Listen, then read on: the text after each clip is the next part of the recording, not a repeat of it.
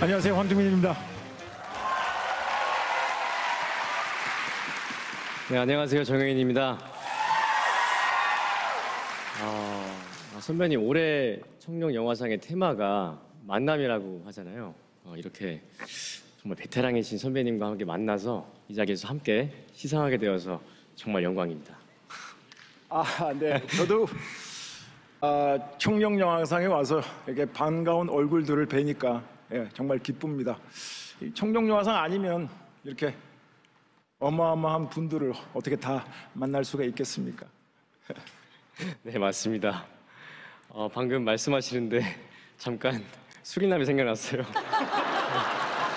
감사합니다.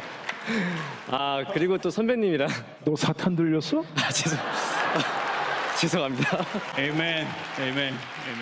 선배님이랑 어, 곧 새로운 작품으로 관객 여러분들과 함께 만날 예정이잖아요. 벌써 정말 떨리고 설레이는 기분입니다. 네, 아, 제가 더 설레고 떨립니다. 그 2015년도에 개봉한 베테랑이라는 작품이 있는데요. 어, 거의 한 8년 만에 베테랑 2가 다시 제작이 돼서 어, 12월 달부터 어, 촬영을 합니다. 혜인 씨와 저와 저희 형사들과 같이 한바탕 또 재미있게 한번 놀아보겠습니다. 화이팅!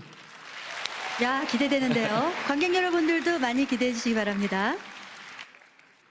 아, 이 자리를 빌어서 아, 올해도 대한민국 영화계를 위해 힘써주신 많은 영화인들과 그리고 한국 영화를 많이 많이 사랑해 주시고 지지해 주신 한국 관객 여러분들께 정말 무한한 감사와 영광을 올립니다.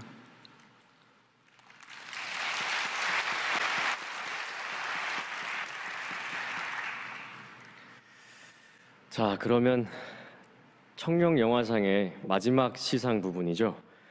계속 진행해 볼까요, 선배님? 네, 제 43회 청룡 영화상 최우수 작품상 후보부터 발표하겠습니다.